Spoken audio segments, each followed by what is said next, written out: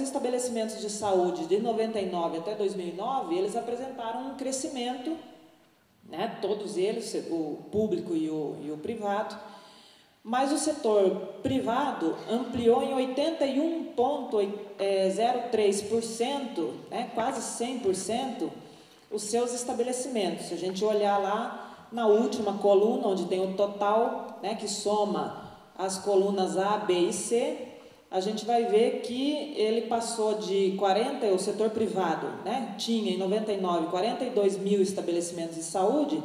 em 2009 é, apresentou 76 mil, quer dizer, um crescimento de 80, mais de 80%,